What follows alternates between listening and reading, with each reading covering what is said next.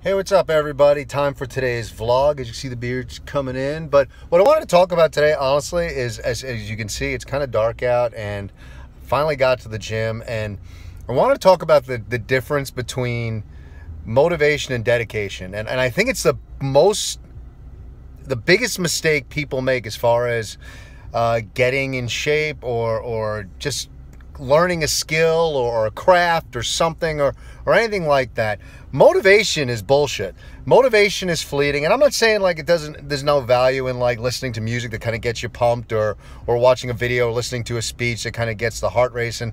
But motivation is so fleeting the trick to like gaining anything to getting yourself into shape to sticking to a workout to sticking to like a resolution as of the beginning of 2020 is really dedication. It's like that habit day in and day out no matter what you stick to it. And i got to tell you right now today i'm at the gym at 5 to 7 because i had no motivation to get here today.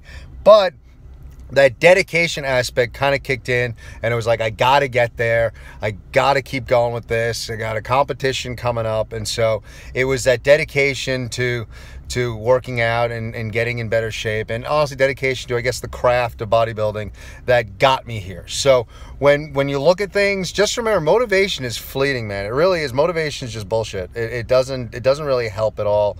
The, the trick is is to get yourself in a place where you're dedicated and you're dedicated and you're working at that. So motivation if you need it, it good it's fleeting kind of bullshit go with dedication. Peace be kind everybody